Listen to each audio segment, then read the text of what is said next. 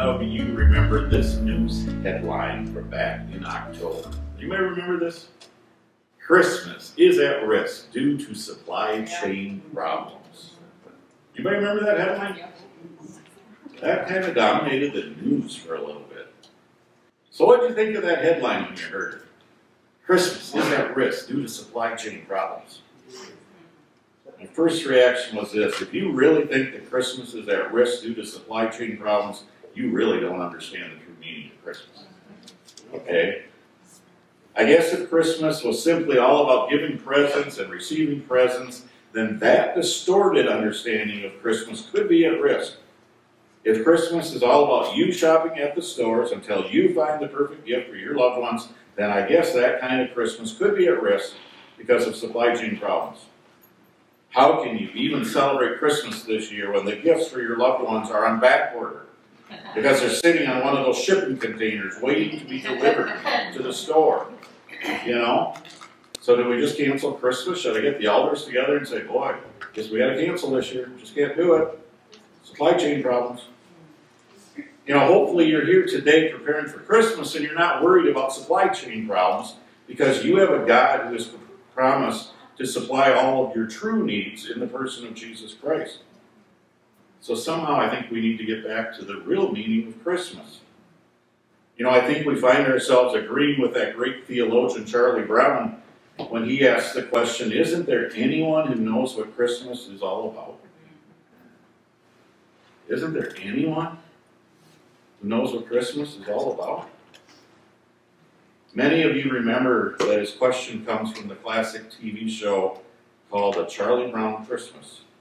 That show's been airing since 1965, so think about it. That's been over 50 years it's been on.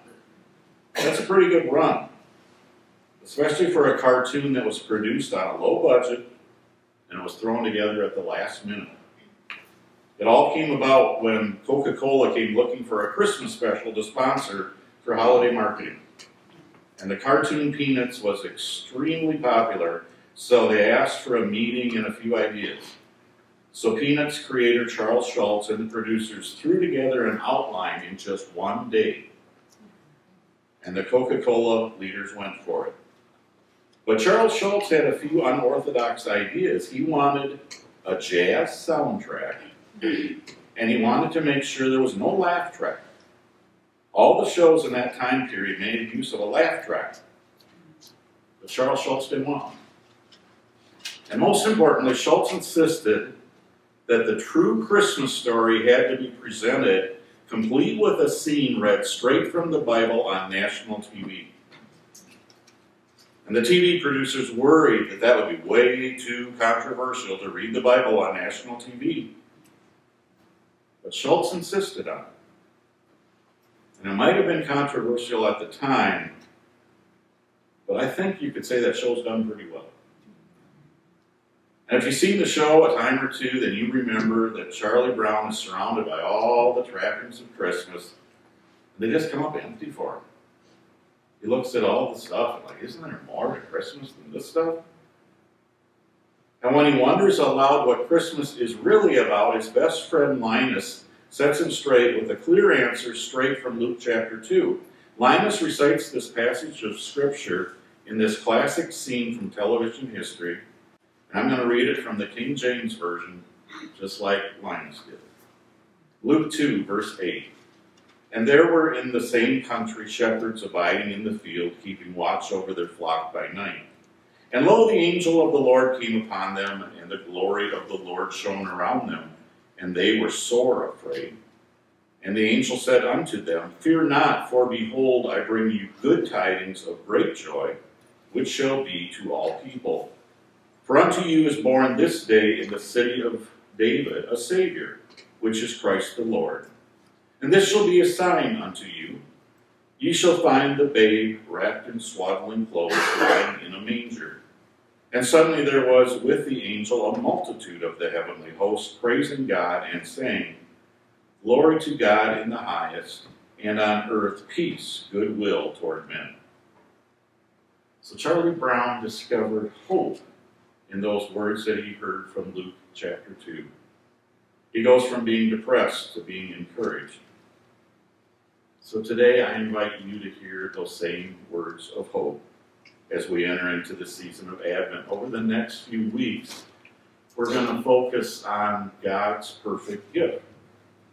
And when you think about buying gifts for your loved ones, some people spend a lot of time just looking for that perfect gift. If you love someone and you know them really well, then you have a pretty good idea of what they need and what they don't need. You know, if I wanted to give a gift to Luke Waldriff, I thought about it. I really shouldn't go buy him a hairbrush. you know, I've asked Luke, and he told me I've got way too many hairbrushes.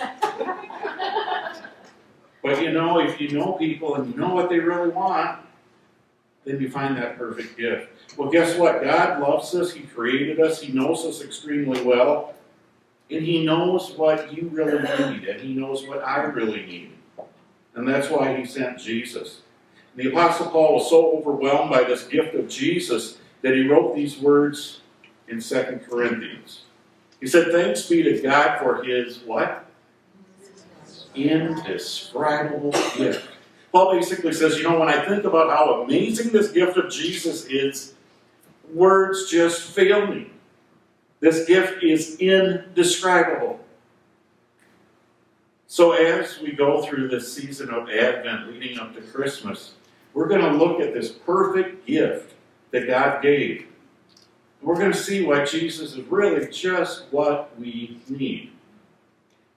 So let's back up and just take a minute. What exactly is Advent? The word Advent means coming or arrival, and the season of Advent is marked by things like expectation and waiting and anticipation, longing. When we think back to the Old Testament, we remember how God's people what did they do? They longed for the promised Messiah to come. We can celebrate the birth of the coming of Jesus, and now we can long for the day when Jesus will come again in triumph. There's a few differences in how people celebrate the Advent season, but the core is the same. One of the common traditions of Advent is the lighting of candles on the Advent wreath. And that circular wreath represents God's unending love for us and the lighting of the candles, what do you think that signifies? That reminds us that Jesus came to a world that was lost in darkness. Jesus was the light of the world. We were lost in darkness. God's gift to us. Isaiah put it this way The people walking in darkness have seen a great light. On those living in the land of deep darkness, a light has dawned. So this Christmas season can be very hectic and busy as we try to get everything done on our list. But the season of Advent invites us to take a step back and prepare our hearts for the coming of Jesus. We're invited to focus on a story that's far greater than our own story. It's a story of God sending the perfect gift to save people he loves. You and me. So, no matter where you are in your spiritual journey, you can prepare your heart for God's perfect gift. And over the next few weeks of Advent, we're going to see how God met our deepest needs when He gave us the perfect gift of Jesus Christ. And today we're going to focus on the hope that we find in Jesus. So, what do we mean when we talk about hope? If you listen to people in everyday conversations, how do they use that word? You might hear things like, I hope it doesn't rain. I hope I get that job I applied for. I hope my in laws will get along this year at Christmas. I hope the surgery goes well. Sure hope the Packers lose. I hope my favorite politician wins the election. You know, when you look at all these statements about hope, they seem to have, seem to have something in common. The world's kind of hope is characterized by doubt and uncertainty. We hope for things that might or might not happen. Yeah, might win, might not. Who knows? Might happen, might not. But the hope we find in Jesus Christ is different. Christians have a solid hope in Jesus. We have an unshakable hope because Jesus has conquered the grave. I think we can appreciate this gift of hope if we think about our hope in the past, in the present, and in the future. So let's start with hope from the past. What's the longest that you've ever had to wait for something? Think about that. You're waiting and waiting and waiting. What's the longest you ever had to wait for something? Maybe you can think back to your childhood. You had your heart set on a certain gift that was going to bring you so much joy at Christmas. So you waited and you hoped and you waited and you hoped. I'm guessing some of you can remember that very clearly. It's like Christmas Day would never come. In the Old Testament, God's people knew a lot about waiting. It seems that their entire history was marked by waiting as they looked forward to the day that this promised Messiah was going to come and set them free. The Old Testament has some prophecies about this Messiah. Isaiah 7 The Lord Himself will give you a sign, the virgin will conceive and give birth to a son, and will call him Emmanuel. Then, two chapters later, Isaiah 9 For to us a child is born, to us a son is given, and the government, government will be on his shoulders, and he will be called Wonderful Counselor, Mighty God, Everlasting Father, Prince of Peace. So let's remember these prophecies were made hundreds of years before Jesus came as the promised Messiah. People had a solid promise from a solid God. But that didn't make waiting any easier. When we think about hope in the present, I think it's helpful to look at this from the perspective that Mary would have had. The angel Gabriel appears to Mary, tells her about the coming of Jesus, Luke 1, verse 26. In the sixth month of Elizabeth's pregnancy, God sent the angel Gabriel to Nazareth, a town in Galilee, to a virgin pledged to be married to a man named Joseph, a descendant of David.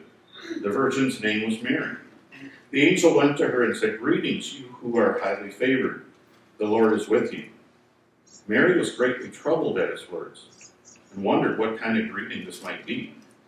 But the angel said to her, Do not be afraid, Mary. You have found favor with God. You will conceive and give birth to a son, and you are to call him Jesus. He will be great and will be called the Son of the Most High. The Lord God will give him the throne of his father David, and he's going to reign over Jacob's descendants forever. His kingdom will never end.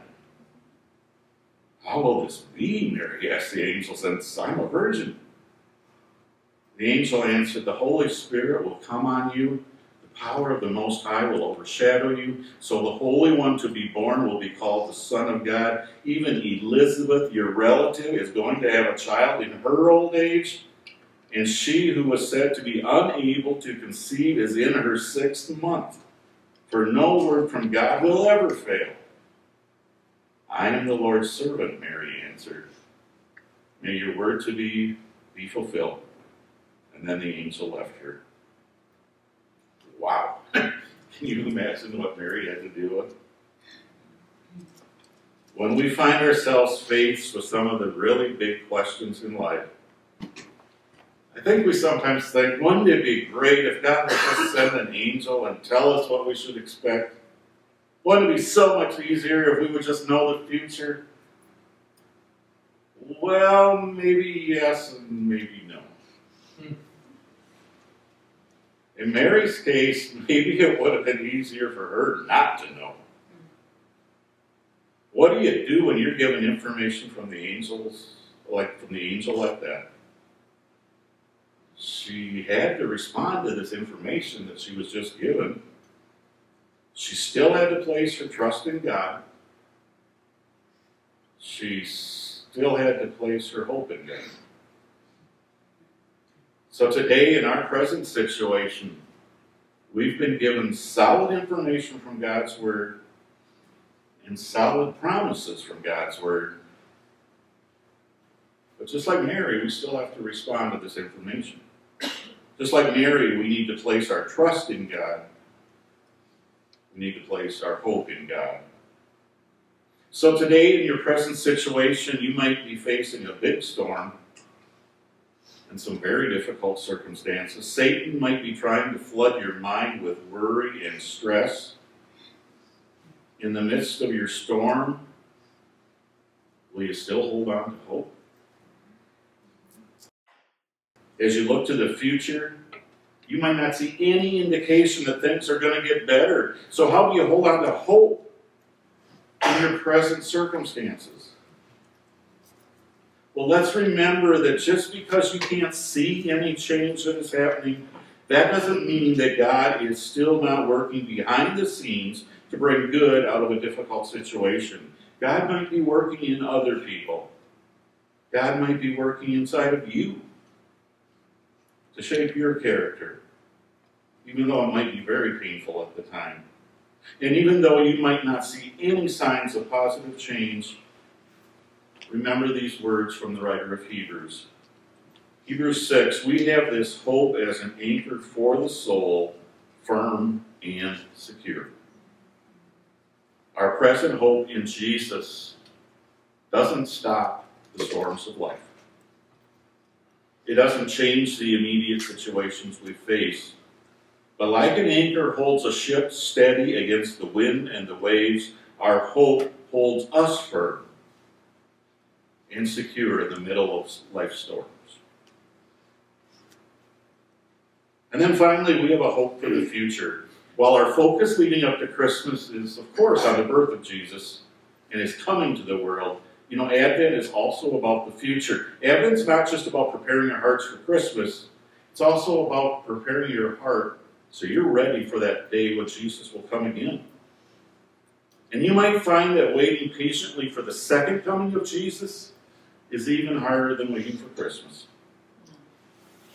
We long for the time when everything's going to be restored and made new. The pain and suffering of today is very real, but we hold on to the future hope that we have in Jesus Christ.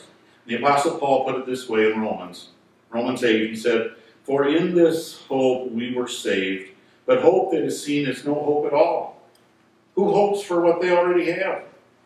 But if we hope for what we do not yet have, we wait for it patiently. So Paul just described the future hope that we have as Christians. We wait for it patiently. Are you a patient waiter? it's hard. It's hard. So as we think about applying today's message, I think we need to think about accepting God's gift of hope. That's where it starts. Hope is a gift but it's got to be accepted, it's got to be received. Later in the book of Romans, Paul tells us how our lives can overflow with this hope. Chapter 15, he writes, May the God of hope fill you with all joy and peace as you trust in him, so that you may overflow with hope by the power of the Holy Spirit. So notice, God is referred to as the God of hope. And if you want your life to overflow with hope, then how does that happen? What do you need to do? Paul says it will happen as you trust in Him. You choose to trust the God of hope, and then He's going to fill your life. Jesus is the perfect gift, but you have to accept this gift that God has for you. We have a present hope now. We're told to wait patiently for our future hope. So as Christians, we wait and we hope. We wait and we hope. We wait patiently. So where do you find it the most difficult right now in your life for you to wait? When is waiting the hardest? When is it the hardest? It seems that we go through, as we go through life, we can find ourselves just getting placed in different waiting rooms in life. We wait patiently when a loved one is struggling with physical health problems. And we wait patiently when a loved one is struggling with mental health problems. We wait patiently as we pray and we wait for a loved one to surrender and give his life to Jesus. We wait patiently as we battle loneliness.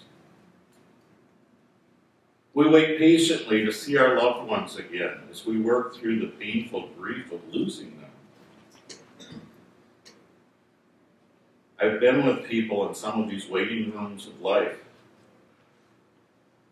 and I don't know how many times I've heard a Christian say, How does anyone face this pain without the hope of Jesus Christ in their life? How does anyone face what I'm going through without the hope that comes from Jesus Christ? So if you've never accepted Jesus as and the hope that he offers, you need to accept him today because you don't want to go through life facing anything without him. You need the hope that Jesus offers. All of us need that hope. So God calls us to receive his gift of hope and then to share his gift of hope with others. We believe that everyone needs hope. So, who do you know who needs the hope of Jesus in their life today? And then, what can you do to help them find this solid hope that Jesus offers? Okay, if you found Jesus, if you have the hope that Jesus offers, do you know somebody in your life right now who doesn't know Jesus? And they don't have the same hope that you do? All right, then, what can we do? We've received it. What can we do now to share that other people? Just think of the joy that's going to come into their life if they can find Jesus. So, with everything we look at this Advent series, it's going to be receive it yourself, but then make sure you're going to share it because there's so many people that don't have it yet. Okay? Receive and share. So, let's apply this to a struggle that's very common in our world. And I'm thinking about how many people in our world struggle with loneliness. Okay? Study after study says that this is getting worse and worse. Many people struggle with loneliness. And this just isn't a problem here in the United States. Japan has been struggling with suicide rates that have been rising, so they actually appointed a minister of loneliness. Do you know that? A minister of loneliness. This person in this new position is supposed to try and reduce loneliness and social isolation among the people. During just the month of October during 2020, more Japanese people died from suicide than had died from COVID during all of 2020. So think about that. That's how much loneliness and despair there is in people's lives. Studies show that loneliness has been linked to a higher risk of health issues like heart disease, dementia, eating disorders. People in Japan have worked to try to solve this problem of loneliness in several different ways. Get this one company designed a robot to hold someone's hand when they're lonely. Another man charges people to simply come and sit with them and do nothing except keep them company. So you think God is happy with these solutions for loneliness? You know, I think God might have a few better ideas than creating a robot or charging people for you to spend time with them. Okay? He has something called the church. All right? You and me. Don't need robots. Don't need to charge people to go spend time with them. The church just needs to be the church. Okay?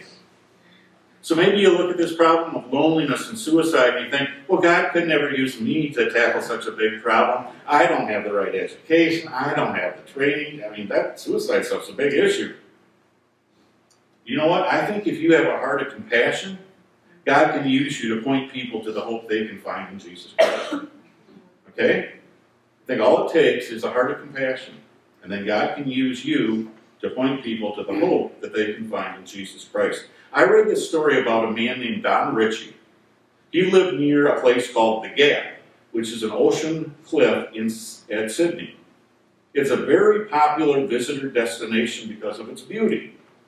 But it's also become a well-known suicide spot over the years. It's estimated that about 50 people end their lives there every single year. They just go and they look over the cliff and they contemplate, should I jump? And then 50 people a year commit suicide there. Don lived near this site, and over the years, he has stopped at least 160 people from killing themselves.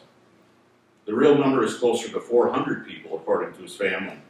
So as individuals walked up to the cliff, looking at the crashing waves below and wondering whether they should jump, Don would approach them with a smile, and he'd say, you know, why don't you come and have a cup of tea with me?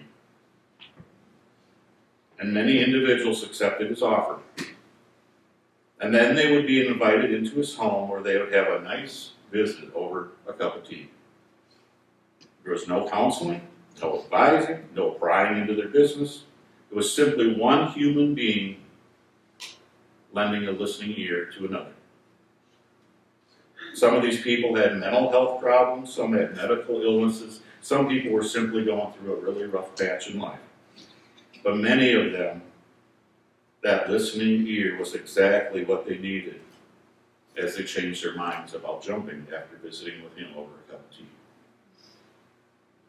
So, who would have thought that a simple visit over a cup of tea could be so powerful? Know, I like that story because this man didn't have any specialized training. He just had a compassionate heart and a listening ear. Every day, you and I can be walking by people who are on the verge of throwing in the towel and giving up. But as Christian, God want, as Christians, God wants us to offer love and a listening ear to people. And God can use you and me to help people find this perfect gift. So today's challenge is pretty simple, but important. Receive God's gift of hope. Share God's gift of hope. Receive and share. Receive and share. It's something we can all do. Let's pray. Heavenly Father, we want to thank you that Jesus is the perfect gift. You are just so amazing when you looked at us and you knew exactly what we needed. So thank you, Lord, for the solid, unshakable hope that we have in Jesus Christ. I praise you that Jesus has conquered the grave. I praise you that Jesus is coming again. Oh, I praise you that Jesus is preparing a place for us in heaven.